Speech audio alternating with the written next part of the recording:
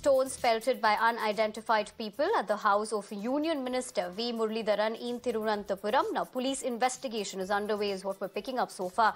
In fact, bloodstains were found in the car parking space, terrace and stairs of the residence.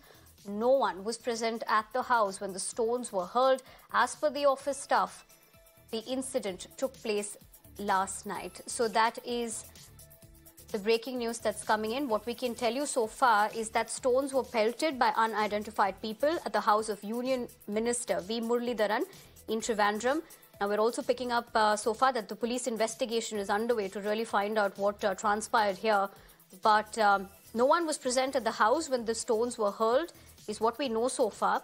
And as per the office staff, the incident took place yesterday. So, when this incident did transpire, as per the initial details, it's being suggested that no one was present.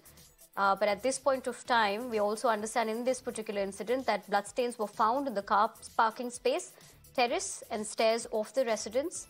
And uh, this is, of course, in connection with uh, the fact that stones were pelted by unidentified people at the house of Union Minister V. Muraleedharan in Thiruvananthapuram.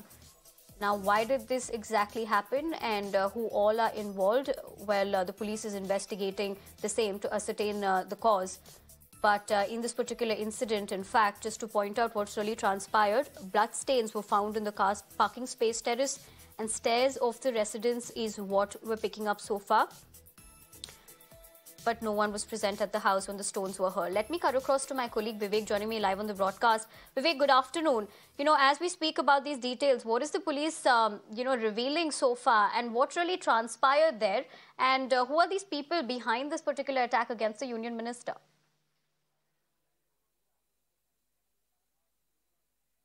Uh, see, uh, we spoke to the police team as we entered this house, and uh, police has just uh, begun the investigation because this incident is supposed to be taken place yesterday late night, uh, somewhere between one o'clock and three o'clock. That's during the early hours of the day.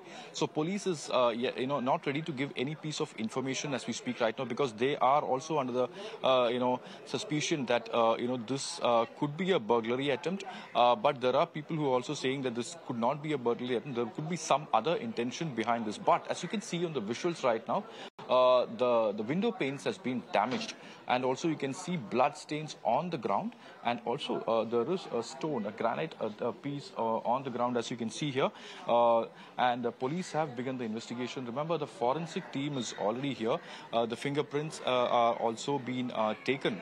what we suspect, what the police suspect, you know, accordingly is that they feel that the person would have entered this house and tried to enter uh, this house, but uh, Uh, somewhere uh, he, uh, you know, he had returned uh, during the late hours of the day, and he has left the spot it, because there was no doors inside the house. There was no door that was forcefully opened, and there was no one present in this house know, when when this incident took place. Minister V. Muraleedharan was in Delhi, and one of the servants who used to stay here was also not here. Remember, it's at 7 o'clock today morning when the, one of the servants who came here actually noticed uh, this uh, window panes, you know, lying in such a uh, condition. Uh, and then uh, she informed uh, the neighbors and then the party men and then the police team actually came here uh, and uh, they started the investigation. So basically, what is the motto, motive behind this attack? whom did the person target? you know, all those things should come under the ambit of the investigation because it's just so around 12 to 13 hours since this incident took place and only by around 7 o'clock that, you know, it came to light. So basically, it's very uh, premature to say uh, as uh, you know what exactly happened and what was his intention. So all those things will come under the ambit of the investigation. But shockingly, uh, there is no CCTV footage or there is no security in place at this place. Remember, he's a union minister. Uh, at least a person was supposed to be here. Earlier, there was a person who was supposed to stay here, but today, yesterday, and today, uh, there were no one here, and that makes it even more shocking.